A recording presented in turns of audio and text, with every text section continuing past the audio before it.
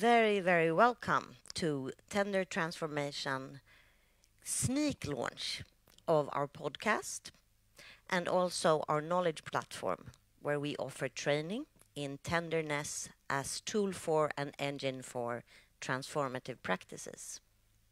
My name is Pernilla Glaser, and I'm here with two people who are very invested in transformation, and I will soon tell you who they are.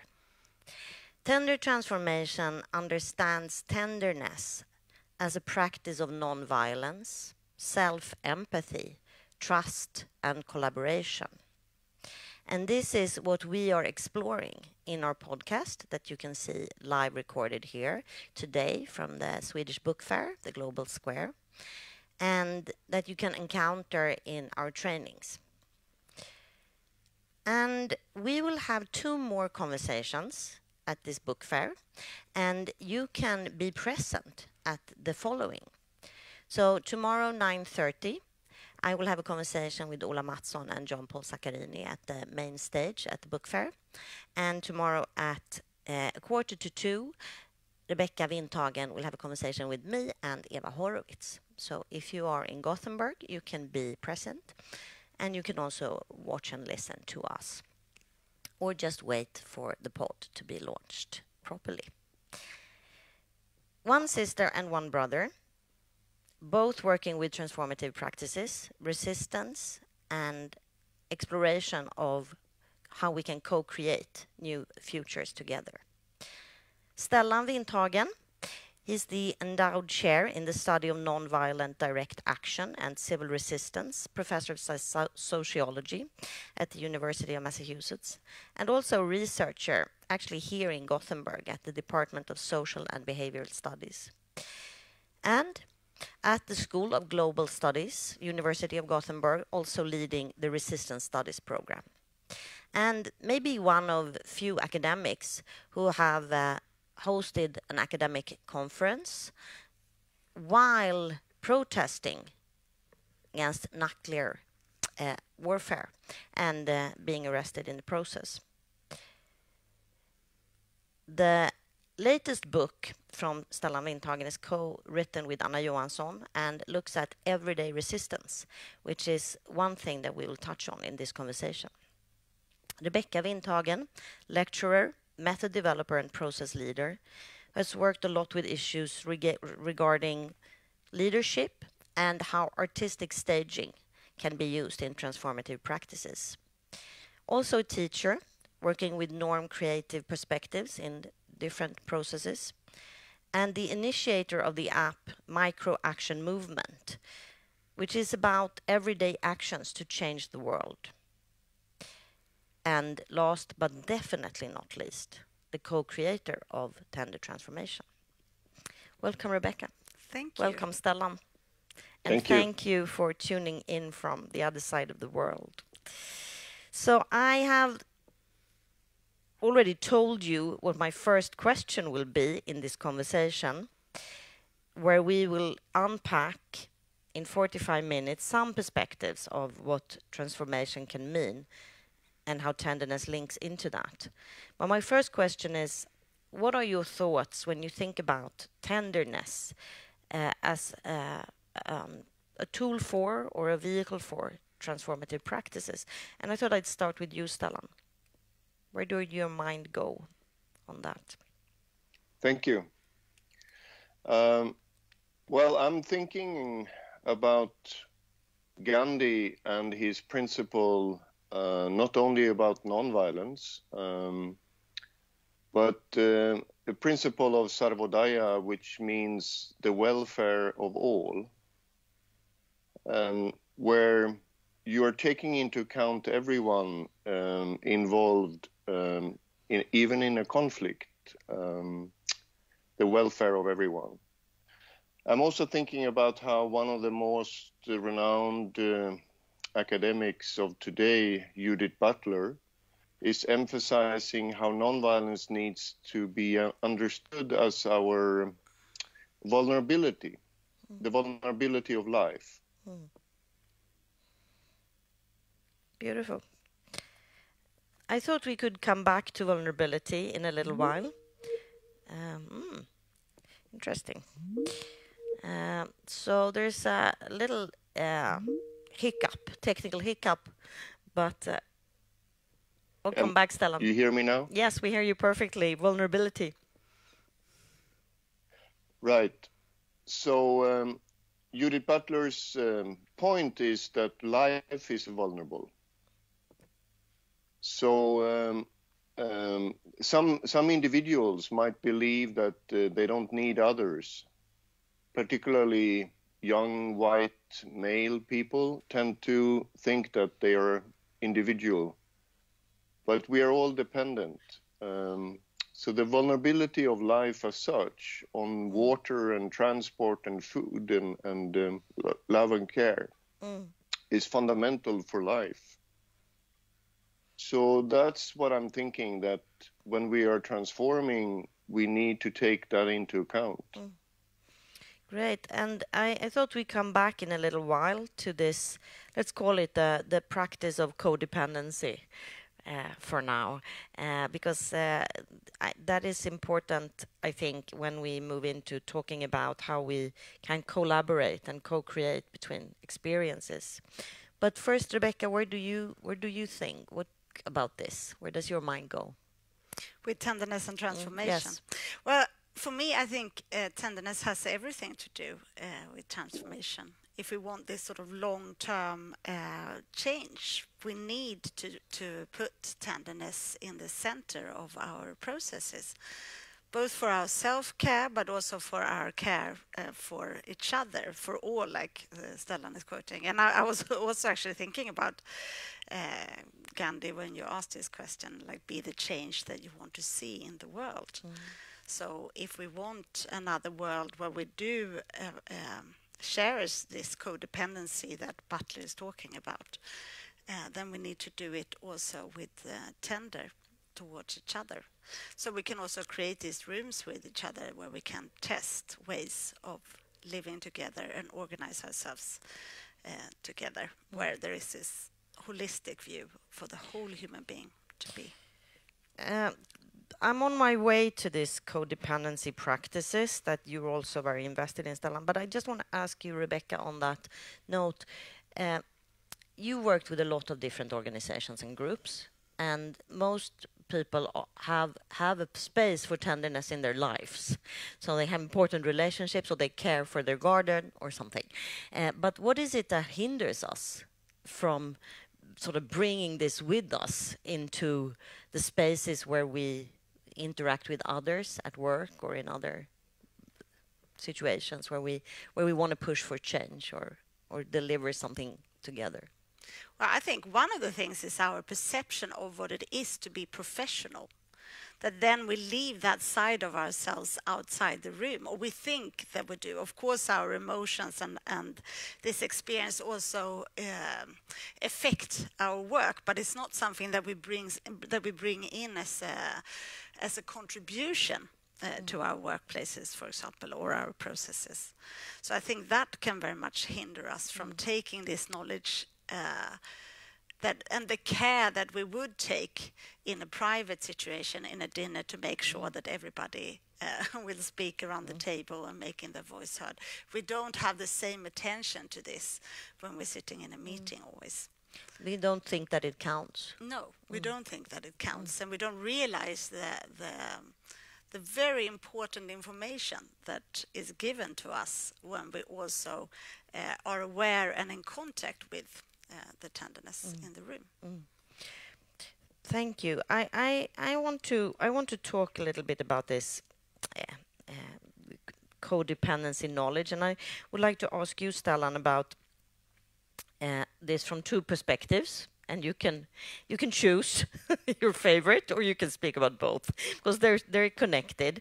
Uh, so, in the book uh, where you look at everyday resistance, you also speak about how the field, the research field of resistance and conflict, also can can benefit a lot from uh, working together with other fields uh, and you sort of underline that this is not one question one issue. We need to sort of move between. This is about governance, and this is about psychology, and there are di many different perspectives to this. So, so one part of my question is about how can we talk about change and transformation, and and really have a multitude of perspectives. Uh, so sort of stay away from this one-eyed view. And the other part of the question which perhaps is the same thing, is how do we bring in more more different kinds of experiences? How do we work with activists and research, for example, which you have done a lot? What what kind of codependency or codependent knowledges can rise out of that? So how do we sort of stay in this multitude of perspectives? How do we need to work? I think it's um, fundamental to uh, start with the problems uh, and the um, mutual interests for social change. Um, so if if you're interested in in problems around injustices or poverty in the world, um, you realize that the problems are interdisciplinary.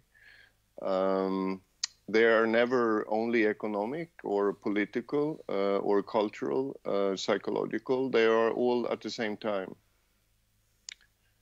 And you also need to value the particular knowledge that exists from the professors of the street, the, the experienced activists um, that they build up when they are struggling and the particular kind of theoretical and philosophical and, and, and system knowledge that exists with academics that have the, the privilege of um, spending their whole work time in, in reading and comparing cases in history.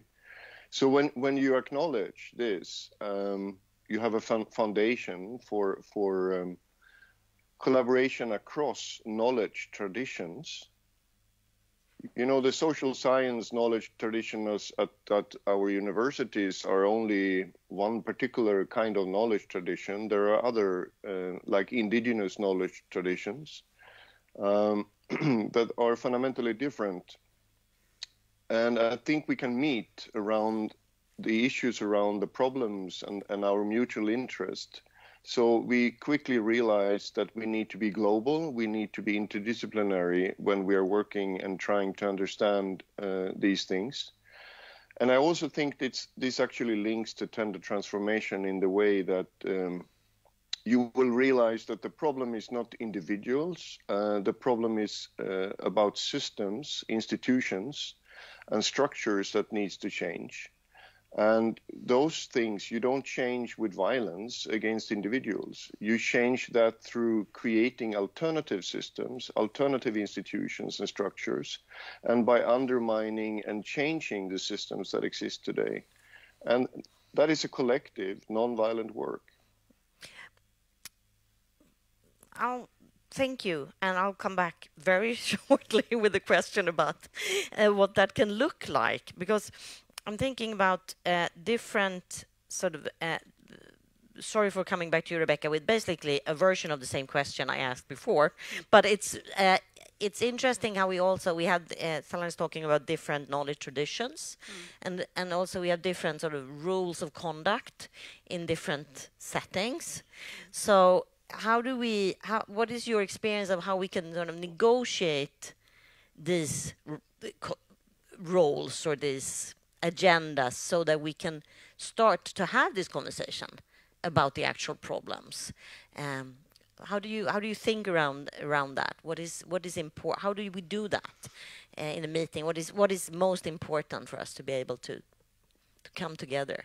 Yeah, well, I think one of those things is this active listening, a little bit like Stellan also talking about. The, the, the realization of the knowledge production can happen and look very different in different uh, cultures, but also in different groups, and if you're inside or outside of institutions. So to recognize that, that we have those people that stands on the barricades that never compromises, and we have those people that work within change within the institutions where it's a lot slower processes, but they are both needed. And, and uh, I think to have that mutual respect for each other and um, also use uh, intersectionality in a solidaric way, like not agreeing to putting needs against each other, competing with each other, but actually listening to our needs and see, okay, so how can we find solutions where everybody is free then? How how has the the, the work with artistic practices uh, assisted you as a facilitator in in assisting groups and Yeah. individuals in doing this, opening this uh, alternative space? Because when Stellan talks about the alternative system and structure, it's also sort of an alternative way of working together, Yeah. potentially.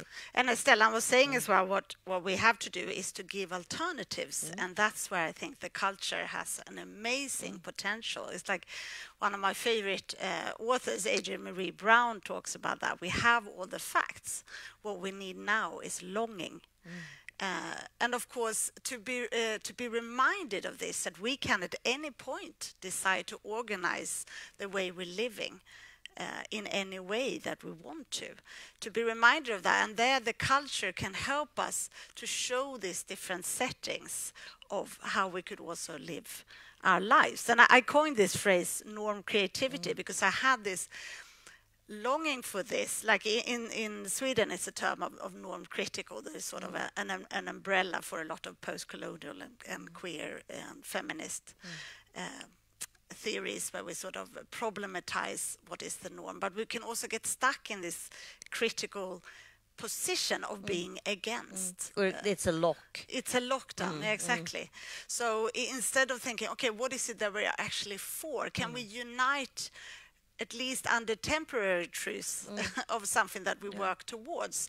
And then the the culture settings can allow us to test To play. and play uh, and uh, have that sort of tenderness with each other and allow ourselves to uh, to test out different ideas. let's come back a little bit more in a while to, to what that can look like in in uh, in different contexts. But I would like to ask Stellan about this. How do we how how can we uh, help each other to unpack the stories and knowledges that we have?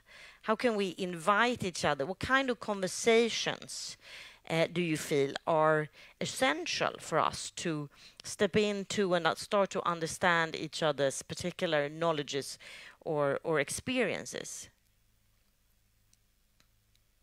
Well, I, I think a, a beginning, as I said, is is around the, the um, problems that we all face and the mutual interest in, in caring for the vulnerability of life.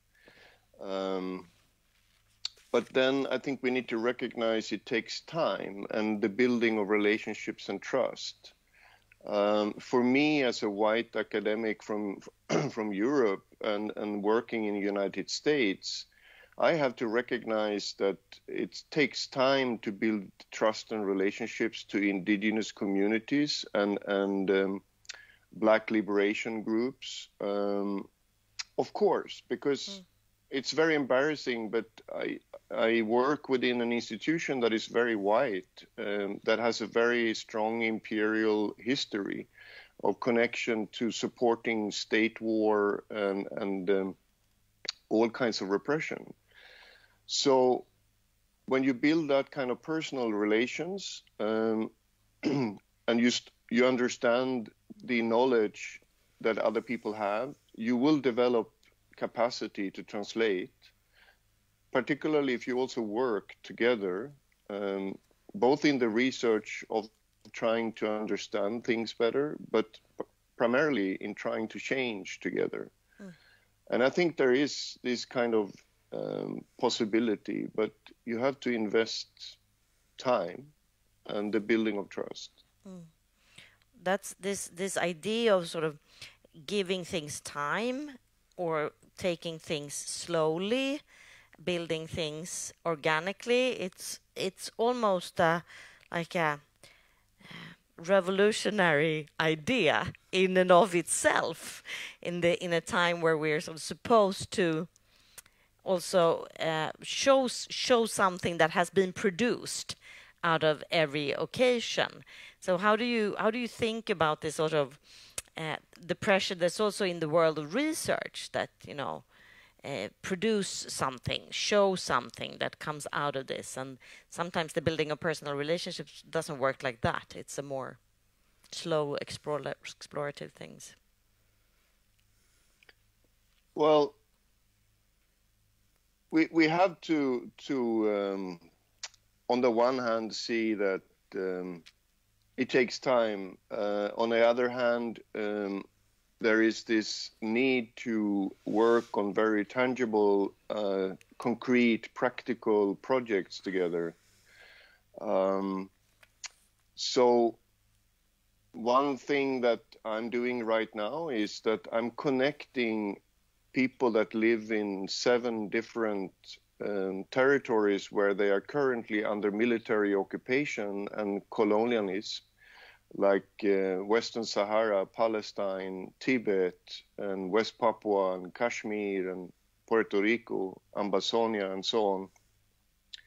So, so what happens is that they are talking to each other across these territories to learn from each other. And they find that very useful. Uh, they haven't been in a space before uh, that is created uh, where they can um, talk across so many uh, places that have similar experiences. Mm. But very unique contexts at the same time. Mm. So, this is very useful for the activists. Mm.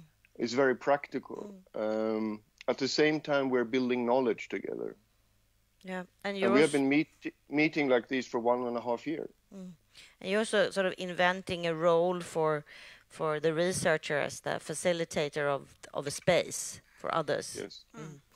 Uh, I, I I want to to come back to what kind of I wanted to come back to a little bit to to what what how we can understand resistance, which is not exactly the same as transformation, but definitely a huge part of transformation. So, uh, what, what can be considered resistance and what can be considered transformation? But I just want to ask you, Rebecca, about this uh, the, the, facilitating of the space, because that's mm. also something you do a lot from from uh, another perspective and departure point. And and I would like to to hear you talk a little bit more about what kind of tools that you bring to this space on the, the artistic practice as toolbox uh, to help people to, to exchange their knowledges and may, and and allow for their experience to count. Hmm. Uh, so do you mean like actual uh, yeah settings? just yeah yeah what what what can it look like or what is important uh, well we did uh, for example um, one cooperation together with Greenpeace mm. uh, that we called All Set for Change, where we uh, turned towards the Finance Institute uh, with the goal of a fossil-free uh, finance mm. Uh, sector. Mm. And and there we also had this sort of norm uh, creative perspective in that sense of you know we're coming with an open hand and we're setting in uh, showing settings of things that we would prefer instead. Mm. So, for example, um, every year in Sweden, the finance minister do this budget walk, where mm. they walk in with a budget for the next year mm. uh, to the parliament, mm. and uh, all the journalists is uh, are there, and so on. So it's a very sort of set ritual. It's a very set ritual, mm. yeah, and all the press is mm. there, and you're presenting how we're gonna, um, yeah, uh, use our common mm. money uh, for the next year. And so there, for example, we did an alternative uh, budget walk where we had collected lots of the, the big and small organizations within the environmental movement in Sweden uh, and lots of very concrete different suggestions that, that they had that needs to be done mm. uh, for us to, to follow the, the Paris Agreement. Mm. Uh, and then we actually staged like we had our uh, our own finance ministers and we had our own uh, environmental guards then instead of security guards uh, and so on. So we did this, this very similar ritual just 10 minutes before the finance mm. minister. So once we got to the to the parliament, the, the, the sort of the real press, we also had activists that were uh, dressed up as journalists, but uh, came running towards us because they thought it was the the finance minister coming, for yeah. example. But then we could also hand over these very concrete examples mm. of uh, and suggestions, mm. of real suggestions mm. uh, that we need to do within our mm. budget. and and that could be one way also of working with this to keep this i, I think that's important that is one of the big values also to show what we are for mm. because it also gives us a different breathing and a different setting when mm. we come into this situation yeah. we don't we're not there to go on the attack or have five exclamation marks no. after every sentence we have our own party. We're centuries mm. around this. Mm. We know this is important, so we, we, we're reaching out our mm. hand mm. to the finance minister with this. Beautiful. So, but what, what is your experience of the sort of the idea of transformation? Because I'm thinking that this is also a way of showing this is this is some this is what something else can look like yeah and i'm thinking about this the distance between the fact and the longing as you quoted uh, and and sort of how how we might have constructed ideas about this is this counts mm. as transformation mm. and this is doesn't count as transformation and and what that is and what is your your experience when you work with this also with these artistic practices mm. how people can understand or maybe renegotiate their understanding of transformative practices? Yeah, because I, I, think it's interesting. I love the word transformation. Mm. I was thinking a little bit before when you talked mm. about this that it can be revolutionary for things mm. to take time. Mm. I think it's especially revolutionary when it comes to privileged people to have to slow down yeah. and take their time.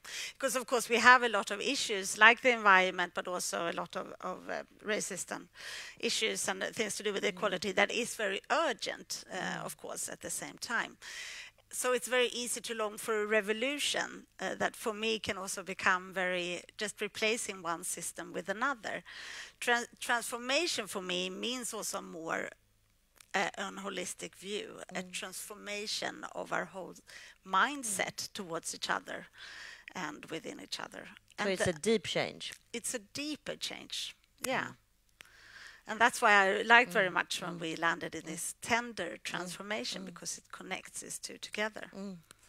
I, will come back to you with questions in a little while about how we take how we can take small steps towards deep transformation. Yeah. Without sort of taking a year out from work and that that's of course also uh, for some people a possibility yeah. but but but what the small steps looks like but i would like to ask you Stellan about the, the relationship between resistance and transformation in in your view uh, because i i have the sense that resistance also have a lot of different ideas surrounding it of this is this counts as resistance or this is not real resistance and so on and so forth. So what what your take is on how how resistance or the role of resistance in transformation? Why is it important or how can it be important uh, for for transformative practices?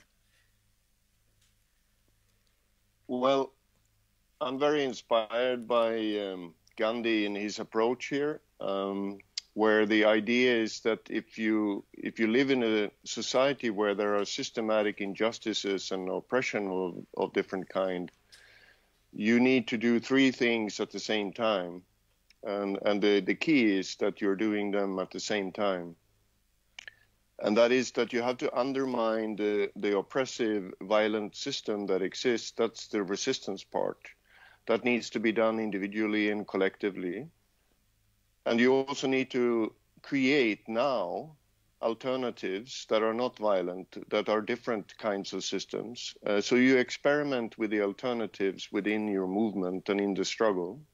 That's the second part. The third part is that you need to also work on the, your personal transformation and the transformation of individuals within the struggle, because it's also happens that the um, when we grow up within a systematic racist, homophobic um, society filled with violence, we are also formed as individuals by this. We internalize the violence within us. So you cannot avoid any of these three and, and for me, it's, it's fundamental that we understand that resistance is not something that is directed against individuals or use of violence, uh, because it's a matter of undermining um, the possibilities of war, injustices, um, and, and oppression. And that has to do with how we are collect- collectively organized. And I mean, even even a revolutionary like Che Guevara that was organizing armed struggle emphasized how love is the primary motivation force of a revolutionary. So I think there has to be this um, focus on um, a change that is willing to take risk and, and confront and undermine the violence and, and injustices. That's the resistance part. Mm. At the same time as we are carried by visions of a different society, and that we recognize that we as individuals, we are also part of the problem and solution at the same time. Mm. Can so I... this is again the codependency. It's the also the relation relational way of working very much that you describe here. Sorry. No, I, I just wanted to uh, to connect to that personal transformation because I also think it's very easy that we think up here we're doing this intellectually. I was thinking what you asked before, how the culture setting can also help us with this to bring in our body into the system as well. Because of course we're staging these power relations in our body as well. We yeah. train how we behave in different rooms, mm. and and uh, we can restage. We can restage, mm. and we can also get a lot of help from our uh, our bodies and props and scenography mm. that where we are acting acting within mm. to also find different channels within ourselves mm. and other alternatives. And also, like you were saying, Stellan, when we're trying out these different alternatives mm. or ways of, of organizing ourselves mm. then I think these bodily practices are often for, forgotten mm. and maybe not again seen as real resistance mm. in the same way. Mm. So, and, and, this is and this is particularly important for us that uh, are born into privileges. Um, people that live in poverty and marginalization, uh, they know that they they need to uh, join up together uh, and collectively support mm-hmm. each other to survive. Um, but we can have this temptation that uh, we can solve it through um, quick solutions, through um, violence and, and, and the state and so mm. on, and we don't have to go through ourselves. No. We um, can stay in the sort of bubbles. Yeah. Yeah. I want to ask uh, about uh, two things. Uh, seems to be my thing to ask two things at the same time. Uh, but one thing is about uh, the minute, the things that are can be overlooked or not regarded as important, and the other thing is about uh, how do we talk about things that we can't talk about? Sorry for the philosophical twist here, but I'll explain my question. So, in uh, in uh, Everyday Resistance, the book that you wrote with with Anna Johansson, uh, you talk about um, you refer to infra politics, the sort of uh, stuff that that we can do uh, as a as a way of protesting uh, that are not identified necessarily as such. Uh, sarcasm or being passive. Uh, that that might not be like good. You're you're part of a resistance movement, not recognized as such, but it, it might be. So how do we? So that is sort of one part of my question. How do we how do we capture or recognize these fragments of resistance or, or transformative uh, engagements and how do we how do we find words and language uh, for that that is fragmented and minute and sparse so what do you what do you think around that stellan? Yeah this is very important because um, we tend to because of the focus of mass media the state and and um, the normal kind of research we tend to look at um, uh, pol- politics as a matter of politicians and a matter of what happens on the street in very dramatic confrontations. Um, but the thing is, with everyday resistance, is that uh, everybody is doing their micro actions in their everyday. Um, at the workplace, in the family, in the neighborhood, uh, all the time. Um, but it's not organized necessarily in a formal organization, but people are doing these kind of things because they react against what injustices they meet. Uh, that could be by working slower when they feel exploited, or to borrow things at their workplace, or to, use their work time to do private things. Um, and all this makes all of us into activists, all of us part of the social change work. And, and I think once we recognize that this is going on, uh, we Hmm. You, you froze for us a little bit here. So I'm gonna listen to what you have to say about this for now. If you're not, yeah, you're back. Now you're back. Okay. so please I'm, finish. I'm s- sorry for this. No, no worries. Um, so uh, once we identify that this uh, everyday politics is going on in an invisible way, uh, where millions of people are doing uh, that, that's a beginning. The the second part I- I would say is that we start to have um, um, efforts to to coordinate and and create communication between these individuals that are doing these things. Um, this, this is a very um, powerful form of resistance and activism because people are able to do it in a way that is not recognized as resistance uh, or activism. Um, but the, the weakness is that it's so scattered among individuals. So that's where this um, very creative uh, smartphone app that my sister developed um, is so important, the Micro Action Movement app. We're gonna we're gonna talk a little bit little bit about micro actions. Um, we don't have eons of time left, but I just want to ask you what you your take is on this, and particularly how do we how do we find a way to talk about this different fragmented ways? Yeah, because I was actually also going to connect Yeah, it a little yeah. bit to, to this app, Micro Action Movement, that has this underlying everyday actions Mm. to change the world. To, to actually put those everyday resistance in that context. Yeah.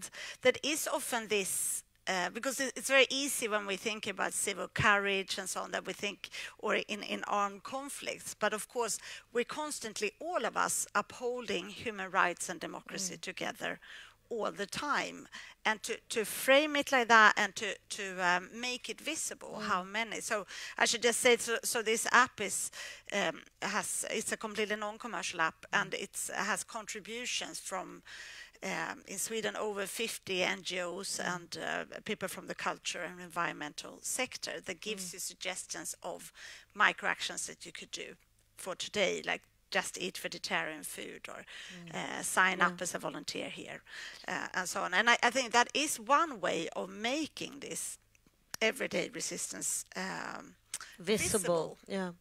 Exactly, and putting it in a context. And of course, now we're going to launch it in, in the US together with University of Massachusetts. And then we also think when we get this on broad scale, we can also show the statistics so you can see how many more people around the world that are doing this Yeah. uh, micro actions to also give it that bigger perspective of your everyday um, uh, actions. Because, of course, a lot of um, resistance, often effective resistance, is also preventative when we are one step ahead than after the fact.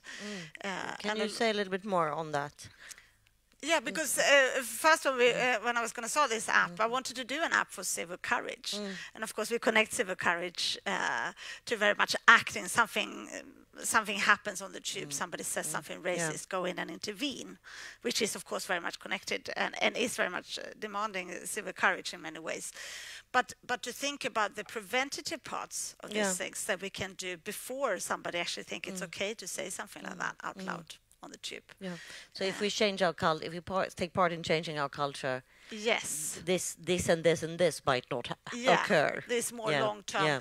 And to really uh, lower the threshold, because I think it's also connected to what you said before what is real uh, Mm-hmm. resistance and what is not. So it can hinder us if we don't identify as an activist, like it's either full time or you do nothing at all. But to Mm. really uh, lower those thresholds and also to uh, think of creativity it doesn't have to be a, a contradiction to human rights, No. for example we can still find ways that for ourselves are creative and Mm. doable and something that I can actually do now. So Mm. we don't get stuck in discussions. We actually come to real action.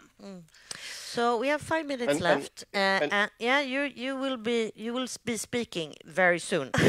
I just want to say that we have five minutes left. Yes, good. And uh, before you start to say what you are going to say, I also want to add the question to you, Stellan, on uh, what your what what your everyday action, if you share one thing today, uh, would be on taking this the step to this this relational way of working that we have been talking about.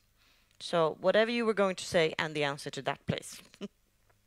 Yes, I can combine these things. I knew Um, it. Um, so the app and and our approach to everyday um, activism is is uh, also a matter of reclaiming our capacity to uh, work with social change. Um, you know, people tend to, in their public actions on the street, to be very focused on protest.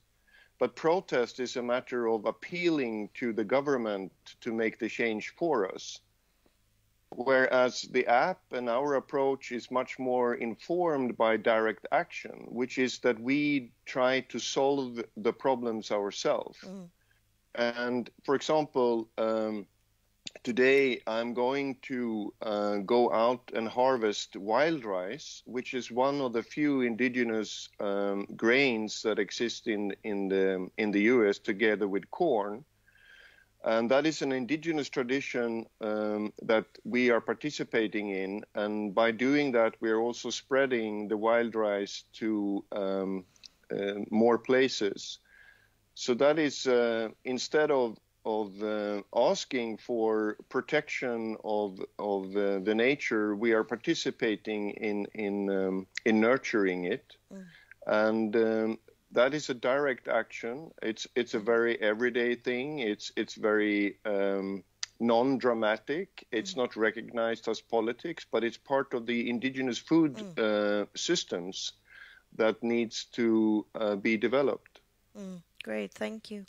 Uh, and I will ask you uh, the same question with a little add-on, uh, because I'm thinking that a lot of the the, the tenderness that we show each other uh, in our lives is often we do something so we can do something else. We drink tea so we can talk about uh, how we feel, uh, and and so on. We we build something, and while we build it, we figure out how to to save the world, and so on. So so what is your thought on this? Uh, a, a small step for for transformation that you that you can see that it could also be have this quality of doing something while doing something else, uh, like harvesting wild rice while doing something else. Yes, we should never underestimate uh, fika, as we say in, in Swedish, Nope. uh, drinking tea, um, eating together, and so on. Is it's often a very good way of building and rituals as Yes. well. This is. But uh, do you have one favorite to share? I have many today? favorites, but I think uh, one uh, that I touched a little bit upon is this to really practice active listening, especially if you are in a privileged uh, position. To instead of formulating your own opinion, ask a few extra questions to the person that you're listening to. Cool, beautiful. Thank you so much. So uh, this is it, folks. We just started, of course, uh, but thank you so much for for being here, and thank you, Stellan, for being awake during our whole conversation.